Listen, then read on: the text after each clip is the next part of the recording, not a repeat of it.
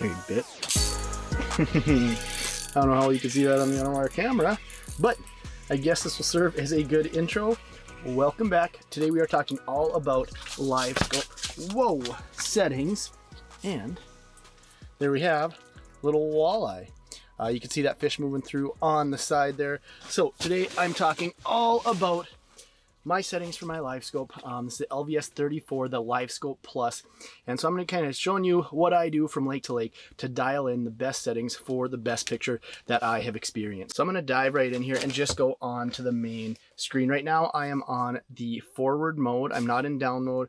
Um, sometimes I will go down mode during the ice season, but in the open water season, I pretty much always have it in forward mode and just zoom in and out. And one of the first things I noticed with the LVS 34 was much better distance. You know, with the LVS 32, I was getting anywhere from about 60 to 90 feet. Um, once it got past 60, it would get a little bit murky and I would rarely get a very clear picture out to 90 feet. But with the LVS 34, you can see I am getting a much better reading, especially as I up my game. I'm getting a much better reading, sometimes even out to 100 and depending on the bottom that I'm looking for, 140 feet. So you can see out there, I'm getting clearly 100. You can see a school of fish moving around right there, 100, 110, 120, and even sometimes out to 140. So that distance has been huge. That has been um, one of the biggest differences that I have noticed in the LVS 32 compared to the LVS 34. And really one of the things that kind of sold me on it when I was out with a buddy and saw that is that target separation and that further distance is much improved. It does look like we have a fish cruising in here. You can start to see how I'm getting a little bit of more grain on the screen. So I'm gonna drop down that gain just a little bit. OP turned around. We're going to start right in on your main screen. Again, this is in forward mode. As I go into menu, you can see some maybe tullibees um, or maybe some panfish kind of cruising through. But on your main screen, you go to menu, starting with the gain. Gain is something that I fluctuate depending on the body of water that I'm on and depending on the depth that I'm on. Right now I'm on about 70%. You can see when I go down, some of that fuzz on the screen goes down, but also some of the clarity on the picture, on your jigs, on your fish, all of that will also go down. As I go up, you get a little more information, but it gets a little bit fuzzier on the screen. You can see some fish kind of cruising right on bottom over there. Um, and those pick up a little more clearly, but as I go down, you can see some of those fish like right there and right there are a little bit trickier to see. So I like to start to find where I am just starting to get a little bit of some fuzz on the screen like that. Um, you can see there as I go up, you get a little more information and just gives you a little bit better detail, but it takes a little bit more practice to getting used to differentiating between the fish, your baits, all of that that's on the screen because it's just giving you a little bit more information. So starting with gain, I'm typically anywhere between 50 to 70, 75% depending on my depth. The shallower I am, the less gain that I use, the deeper that I am, the more gain that I use. So going on from there, we have our depth range. Sometimes I'll set that to auto, sometimes I'll set it uh, my own manually but again that is also on the front screen here as well as um, your gain so those are both in that setting right on the main screen Forward range, same thing that is on the main screen right here, but it's also on your side buttons if you want to go in and out or zoom in and out there. And when I'm scouting, a lot of times I will be at that 60, 80, 90, 100 feet. And then when I'm fishing, a lot of times I'll be in that 25 to about 40 feet. You can see I'm about 40, 50 feet right here. I can actually zoom that in a little bit more if I want a little bit more detail. And you can actually see a few fish cruising in right on bottom. Those ones are likely some walleyes being they're so tight to bottom. And some of those other ones might be um, panfish or ciscos. Moving on from there, this again just stops the sonar if you would like it, which also um, happens if you just touch the screen. So if I touch the screen right there, it'll pause it, press play down in the corner sonar, whether you want to stop this transmission or not. You can see transmission disabled. Sonar setup. So now this is where the bulk of your settings are going to be. You go up into here, there's appearance, and there's a fish cruising through. You can just barely see that one. He's a little bit on the outside of the cone. Same thing with my jig. There's actually a little bit of stitching right there as well, um, which I'm not going to go into detail a lot, but it's just a little bit of these kind of little bit areas that are a little more dead zone type because of how the transducers are stitched together to give you that picture. But going into appearance, right up here, you have different color schemes. So now there's a couple different color schemes that I like. You can see some more fish kind of cruising on bottom there. And the two, three that I mainly like, I like blue a lot because you can really kind of tell the size of the fish and also get some more 3D image out of it. Uh, but the other ones that I also really like are the moss. You can see there, that one gives you some pretty good definition as far as how big the fish are, how close they are, if they're inside or outside the cone based on how intense that green is. Um, that one, and then very similar to that one is the black emerald, which is right here. And you can see that one actually has a little more fuzz going on um, on the screen, a little bit more showing up in the background. But my favorite one so far has been the blue. I do like the moss as well, but I feel like that blue, especially for filming purposes, just give you a very um, good look and it's very easy to pick up on some of the contrast with that. So that is under your color scheme under color gain. And now this is one that I feel like makes a pretty big impact depending on what you're doing. Right now you can see mine is at 90%. I really do like to have that up a little higher. Sometimes I'll even have it up as high as 100%. And I'll show, kind of show you what that looks like. When you're up at 100%, that gives you, just kind of fills everything out. It takes a little while to get used to because then everything looks a little bit bigger, especially in shallower water. So I might bump that down a little bit in shallower water.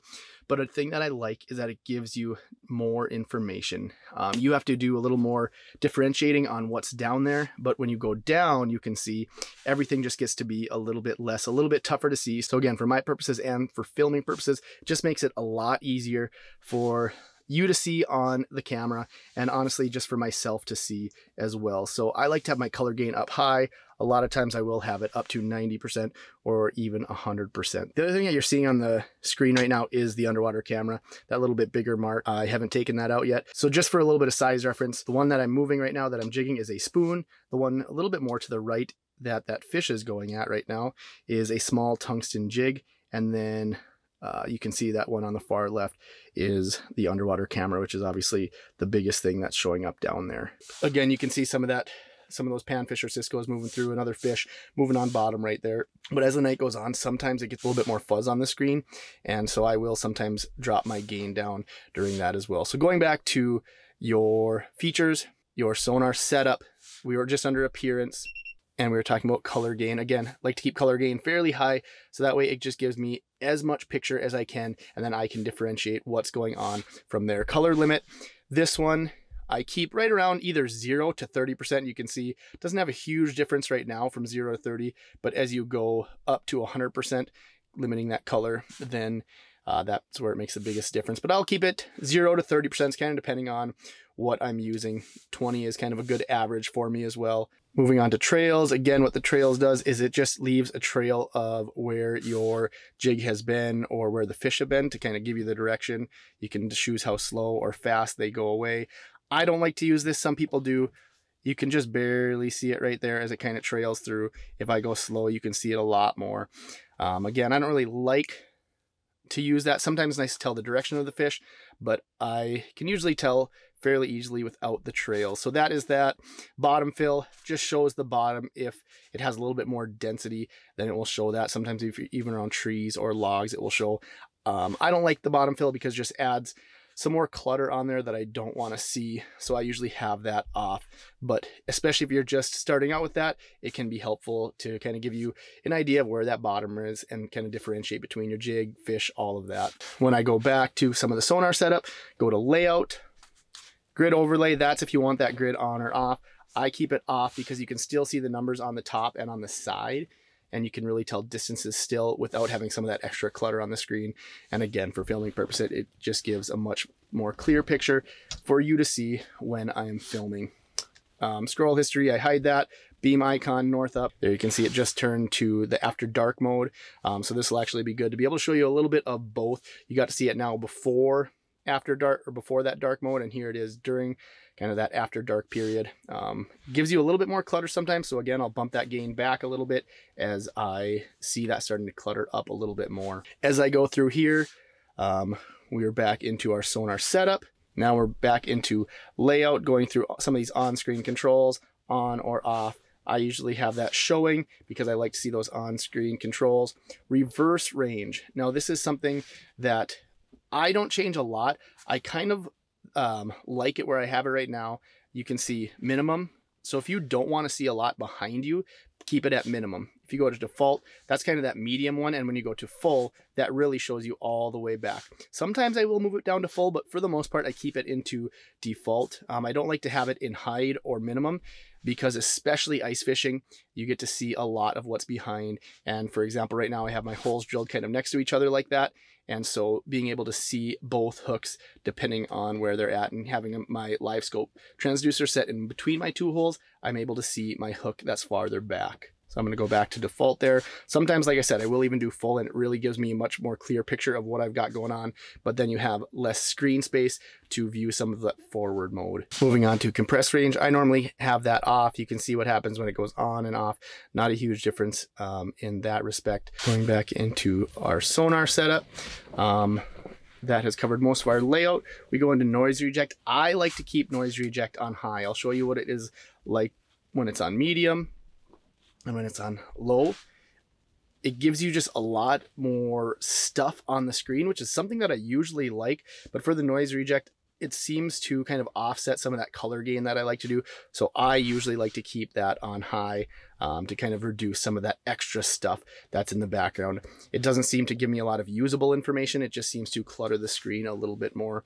So I keep my noise reject on high. As I was editing this video, I realized that I completely skipped over TVG, which is time variable gain. And essentially what that does, it's a filter for the top half, top part of the water column, and it filters out some of the noise, it filters out some of the clutter that you're gonna see up there. Most of the time, if you're not fishing in super deep water, you're gonna have this off, and in fact, for the majority of the time, I do have it off. One situation that I will turn on low or medium sometimes is lake trout fishing. When I know I'm fishing 60, 80, 100 feet, and I'm not too worried about what's happening in the top 10, 20 feet of the water column, that is sometimes when I'll turn that TVG on to low or medium. But for the vast majority of what I do, I keep TVG off. Ghost Reject, I typically keep that one on auto. Um, I have messed around with it a little bit, moved it on to high or even to low, um, but I have found to be some of the most successful, especially move from lake to lake on auto. When you go to overlay data, that's really just what you want to see. Right now, I just keep my time of day on there. For ice fishing, I don't need to know the water temp, but I will do the water temp when I'm in the summertime. Uh, speed, obviously don't need to know that. Depth, I do keep the depth on there, and the voltage I don't have on there because I have it on my ArcLab shuttle. It has a little voltage reader on her. So just having less stuff on the screen is nice. I'll show you if I put all those on, kind of just clutters that up a little bit more. And when you're in shallower water, then that can actually take up some of your usable space or if you're in down mode. So I only like to keep the depth and the time of day on there. But again, that's one of the things that is your preference. Going into installation, I do like to use the AHRS. I keep that on. Calibrating compass. Now that is something that I have found can be very beneficial, especially in the summertime, just to help with kind of leveling where that live scope is facing, get you into forward mode, getting it pointed in the right direction. Um, I don't do it a lot in the winter, but I will do it every once in a while when I am in the open water in the boat because it does seem to help get a little bit better picture and especially with leveling. So that is for calibrating the compass. I'm not going to talk a lot about that right now, but that is something to look into where you essentially just do a couple loops to help that compass um, orient where it's supposed to be facing. Going on to focus, I have it on auto fresh and obviously restoring the sonar defaults, we do not want to do that right now.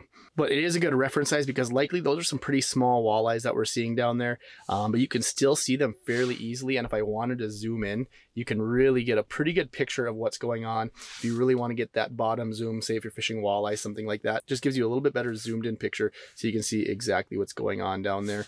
Um, I usually don't need to do that. Sometimes I'll do it when I'm filming to get a little better shot. But overall, you can see with these settings, even those smaller walleyes in 25 feet of water are showing up pretty good. You can easily distinguish what they are, which way they're moving, how they're interacting with your jig, all of that. Like I said, my dead stick rod right now, you can see it more so flickering in and out, and that's because that's where that stitching is. I could move it into down mode, and actually I'll show you that here. When I move it into down mode, menu, sonar setup, installation, orientation, you go into down. So there you can see both jigs a little easier. I moved that orientation of that transducer um, level for the LVS 34. That's the down mode for it. And you can see both jigs much easier now. So for filming purposes, you know, I'm not moving around. I'm not kind of running and gunning. This is probably the best view to see a lot of what I'm looking to see. Ooh, that one's coming in. So keep an eye on that. If you're having a tough time seeing one of your jigs, you might want to go into a different orientation, whether that be forward or down, depending on what you're in. And that might help you get that jig out of the dead zone, just like it did my jig right here. You can see it much easier than when it was in forward mode. I'm going to go through just a few general rules of thumb that I have seen to be helpful depending on the body of water. Uh, no way are these hard and fast rules because it can vary so much depending on the body of water that you're in. Um, but one of those, and this is mostly related to your gain, um, the deeper you are, the higher the gain. The clearer the water, the higher the gain you can get away with. If it's murkier water, lower your gain.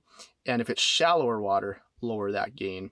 Uh, so those are just a few rules of thumb that I do when I'm moving from body to water, body of water to body of water. Each lake is so very different, and some of this is just preference depending on how you like to see it. But this should give you a pretty good place to start, either if you just got LiveScope or if you're upgrading to LVS 34 from the LVS 32.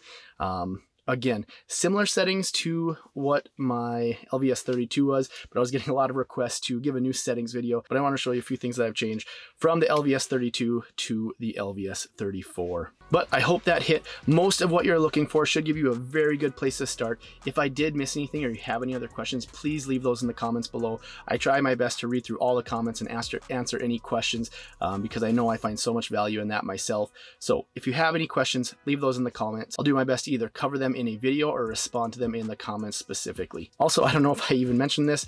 Uh, didn't really do an intro because I wanted to get right into the settings because that is what you're here for. My name is TJ Erickson. I am a teacher and a fishing guide based out of Park Rapids, Minnesota. I appreciate you stopping by. I'm able to film quite a few ice fishing videos. Um, I don't get to do a lot in the summer because my guide schedule gets so busy, uh, but I really enjoy making these videos, watching them back for myself, but also trying to help educate just a little bit because I know I found so much education here on YouTube and I just really want to give back and be able to document some of my experience. So thanks for stopping by. Really appreciate it.